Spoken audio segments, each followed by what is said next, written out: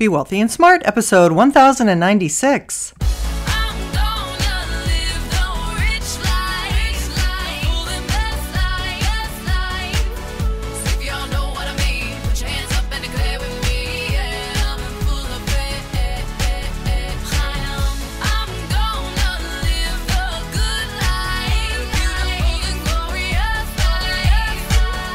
Step into a world of wealth and financial freedom without budgets, boredom, or bosses on Be Wealthy and Smart. And now, here's your host, Linda P. Jones.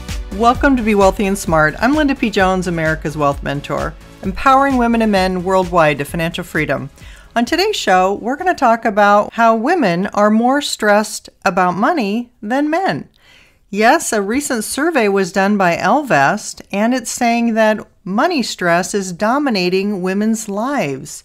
In both instances, women were out worrying men. 59% of women were stressed about money more than once a week, and 43% of women actively worry about money at least once a day.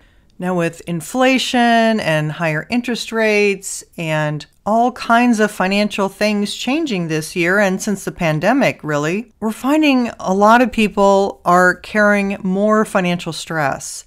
And at the end of the podcast, we'll talk about how to deal with some of that financial stress and how to reduce that stress. But it's very interesting to see, first of all, what people are stressed about. Now, the stress can be different depending on what generation you're in. Gen X and baby boomers are more likely to be worried about inflation, 91%, a possible recession, 81%, and having to cut back on spending, 76%. While younger women, who are millennials and Gen Z, are more likely to be worried about reproductive rights, 63%, job security, 62%, representation in government, 54%, housing prices, 51%, and cost of childcare, 42%. Very, very different focuses just depending on your generation. Now, this is not something that has always been the case. Women have actually changed their opinion about financial wellness, and they're three times more likely to prioritize financial wellness in 2022 as they were just a year ago. In 2021, women ranked financial wellness as the least important form of wellness, less important than physical or emotional or spiritual wellness. That was 14% of women thought financial wellness was important. But this year, in the same ranking, women were now three times as likely to see financial wellness as critical over physical, emotional, and spiritual wellness. And of course, that's not surprising with all of the financial shifts and challenges that we've experienced this year. What's also interesting is that financial priorities vary by gender.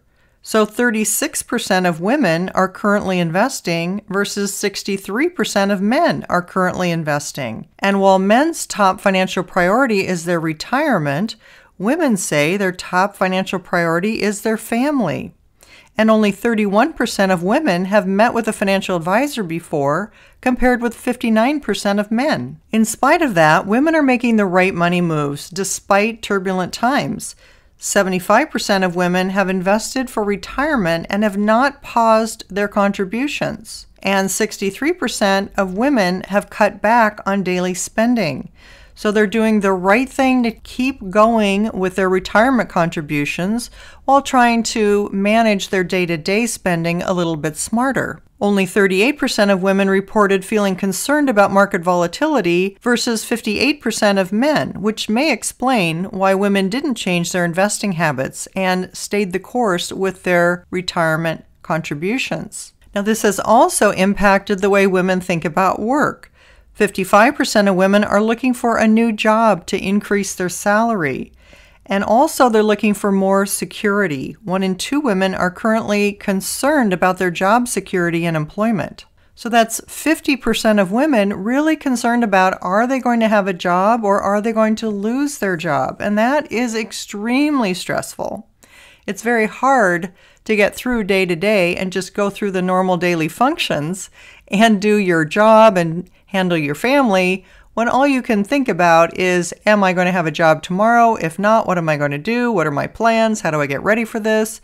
That is extremely stressful. So now you understand why there's so much stress happening and where that stress is coming from and how people are dealing with it. Now, you probably know yourself well enough to know how to do some self care and reduce your stress, but just in case you need a few ideas, I have some for you. So, here are nine different ways that you can reduce your stress.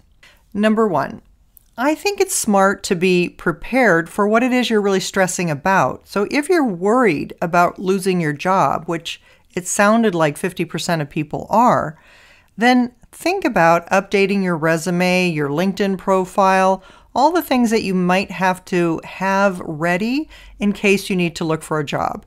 You might also go to lunch with some of those people that you haven't talked to for a while that you can kind of network with.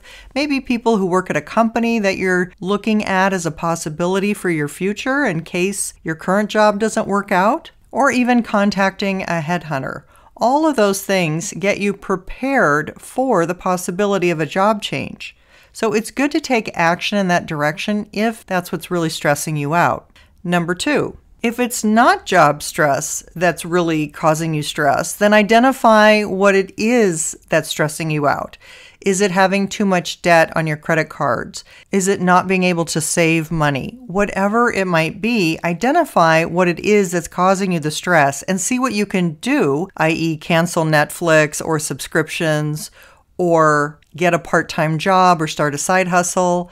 What are the things you can do that can relieve the stress that you have? Number three, if there's a way that you can save more money, do that.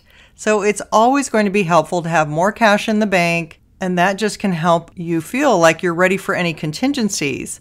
One easy thing to do is just go through your house, clean it out, put it in the garage, and have a garage sale. That's an easy way to spend a couple Saturdays and make a decent amount of money. Number four, stay away from doing any kind of binging. Don't be binge shopping or binge eating or doing anything that really is overindulging that's going to make you sick or add to your stress. Number five, exercise whenever you can. If you can take some walks or go on a nice hike, that's always helpful. Even putting on some music and dancing around the house, if that's your chosen exercise, that can be stress relieving. You don't necessarily have to go to the gym, but if you enjoy going to the gym, then by all means, go to the gym, work out on machines, or do aerobics, or do Pilates, or whatever it is that you do at the gym. That definitely helps relieve the stress. Number six, soak in a bubble bath. I know that at times when I'm very stressful, just pouring a bath with some bubbles in it can be very stress relieving. It's just relaxing. I can get my thoughts together, think through some things, and it just is a nice solitary thing to do to relieve stress. Number seven, make sure you're eating healthy. Eat some greens, eat some vegetables, add a few fruits, some nice protein. Try to stay away from the processed food, the junk food, the fast food, and make sure you're getting your vitamin D and some extra supplements of that could be helpful. Most people are pretty low on vitamin D. Number eight, you can get your mind off of your stress by listening to relaxing music or watching a fun movie. Make sure it's not depressing or something that's going to stress you out more, but something funny, a good comedy, a good romantic comedy, sitcom, whatever, something that can just let you veg out, get your mind off of it, and hopefully relax a little bit. And number nine, it's always healthy to do affirmations. Affirmations put positive thoughts in your mind. And by writing down sentences of positive thoughts that you can repeat to yourself, that can strengthen your belief in those things happening. Now, this is something I've podcasted about in the past, so you can look up my podcasts about affirmations. They're also in my books. But I do believe that having a positive belief for an outcome is really important. Studies have shown that our subconscious doesn't know the difference between reality and fiction. So, whatever you're saying to yourself, whatever you're telling yourself, whatever you're believing with certainty, that's what your physical body is actually reacting to. So, if you're worried that you're going to be on the street and homeless, that's the stress that you're putting on your body. But if your mind is going in a positive direction, that things are going to work out, you're going to be fine, more money is coming your way, prosperity is happening, your job is secure, whatever it is that you need to be more certain about, saying those affirmations over and over again can actually help. And I like to put a sentence in between the affirmations so that your mind doesn't argue with you. So, for example, if you were to say, I'm worth a billion dollars, your mind would say, No, you're not. And it would argue with you. So, to stop that from happening, you put an already true statement in between the affirmations. So, you could say, I have enough money to pay all my bills every month and money left over. My name is Linda. I'm grateful for everything I have and that my job is secure. My dog is Penny. You can just intertwine already true statements in between each affirmation that you're saying. And then what you want to do is just use repetition. Say it morning, noon, and night. First thing when you wake up, last thing before bed. Those are always good things to help solidify your belief system. This alone can help you reduce stress significantly because it will change any negative thoughts that you have into positive beliefs. And that's something that's extremely important right now because what you believe in your mind is also impacting your health, your physical body. So, this is something that I think is timely to focus on.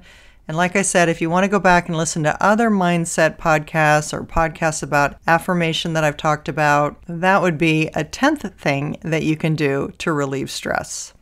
If you haven't yet subscribed to Be Wealthy and Smart, hit the subscribe button and you'll be notified as soon as new podcasts are available so you never miss one of them. That's all for today. Until next time, live the good life and be wealthy and smart. Thank you for listening to Be Wealthy and Smart with Linda P. Jones. Share the wealth and tell your family and friends about the show. Check out our website, blog, and social media for more riches at www.bewealthyandsmart.com.